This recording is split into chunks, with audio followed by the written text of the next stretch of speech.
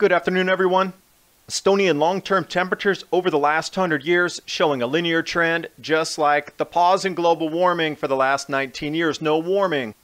Rare event by the Siberian Times reported that the incredibly deep Kurile Lake, such ice cover that the birds have nowhere to feed. There is one area that's open near a river mouth, otherwise, the entire lake is frozen. Also, as I predicted in previous videos, the mainstream media is going to come out and use warming as an excuse for the cooling. Here we go. Sudden stratospheric warming being used right now to explain how it's going to be snowy and incredibly cold in March and April throughout the UK. The videos try to explain that there's a slowing in the rotational winds in the mesosphere that trickle down into the troposphere and it'll affect the polar jet stream so much that it will reverse itself. Yet wait, this latest cold front is sweeping off the Atlantic from west to east. The sudden stratospheric warming it should be coming from east to west, so right there is a mixed message in what's happening.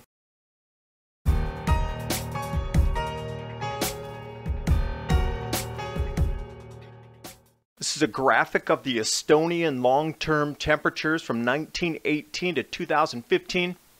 Nearly 100 years, and you can also see it's in a linear trend and still below the warmest year ever in 1998-99 cools are getting cooler and every dip forward as well. This matches right up with no global warming for 19 years, the great pause, the super inconvenient truth.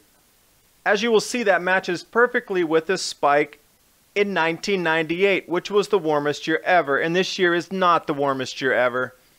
Please do your own research on that. Google the pause. I've left links below in the comment box. You can follow up with the Estonian temperatures as well. Rare event where Kurile Lake has frozen over again. It did freeze 10 years ago, but not to the solid state that it is now.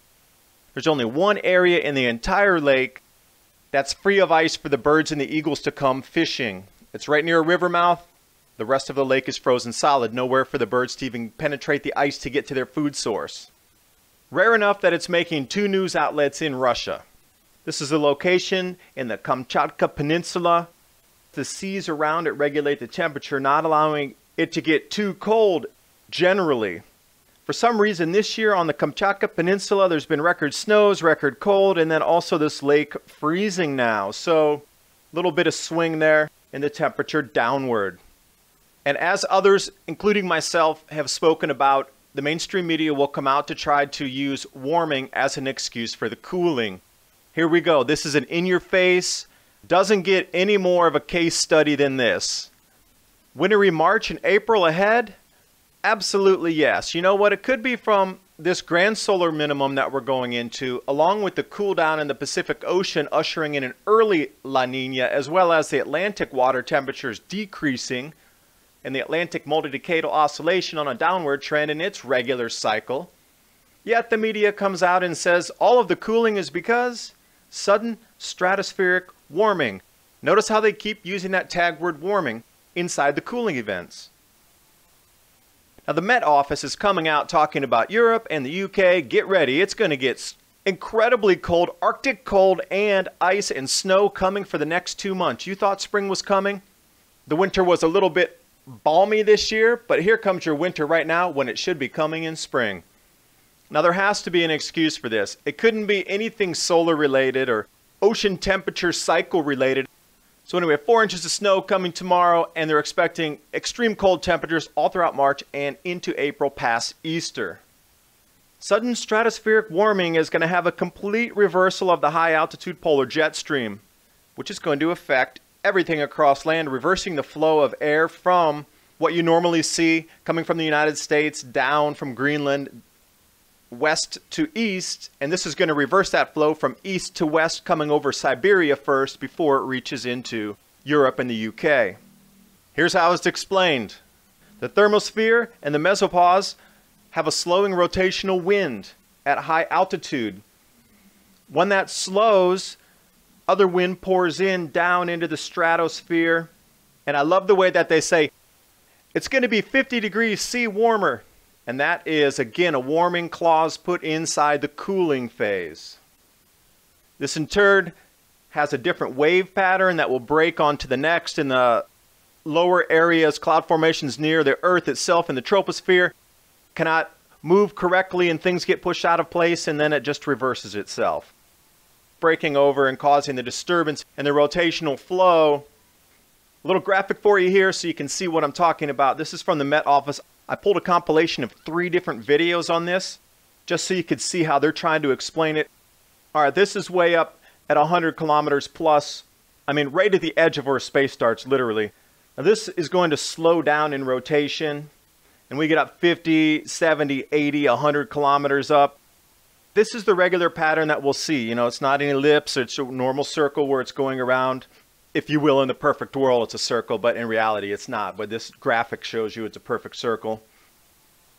Suddenly, the waves start to oscillate because the wind is filling in and pouring in from really high up 100 kilometers 80 kilometers up it's and then it's breaking all the pattern further down so it's creating a cylinder where all this cold air can penetrate now they're saying because all the air is funneling in so fast and you know 50, 60 miles of an air column dropping, it's going to create warming as much as 50 C.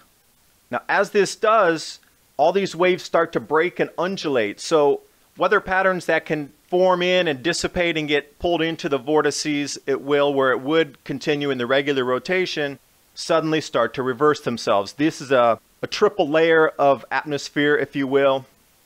Generally, it's blowing in a certain direction or reversed, and once it does, the ground layer also reverses on the far right there.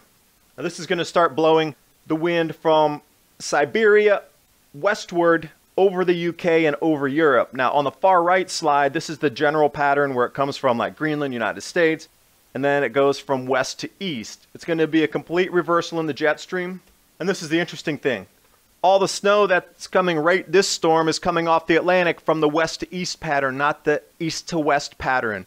Yet they're talking about the east to west pattern because of the reversal of the polar jet stream to explain the snows. This is a complete contradiction to what they're putting out in the media.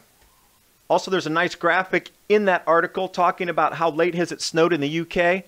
They don't give a time reference of to when this actual chart began, but you can see 2011, 2012, and here we go 2016.